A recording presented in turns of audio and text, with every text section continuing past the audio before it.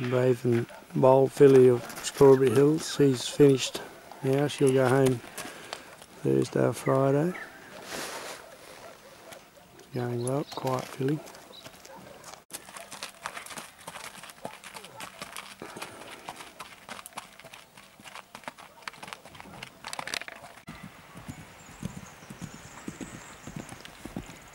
It's the final star filly in front there, ticking along with the Brave and Bold filly behind.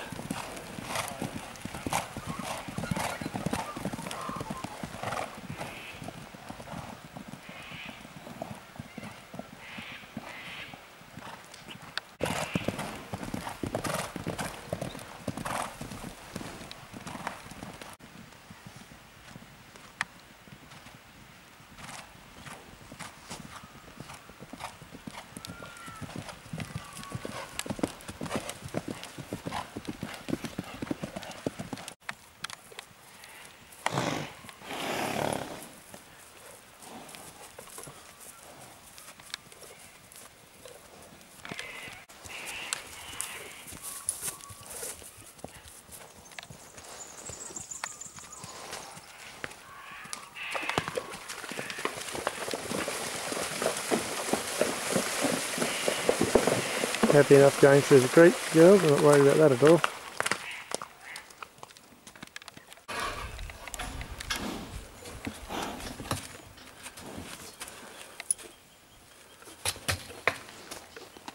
They're both pretty good in the barriers. I don't think we've had any dramas with either of them.